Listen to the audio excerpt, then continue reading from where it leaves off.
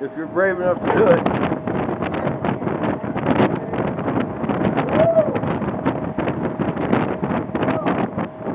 Not bad.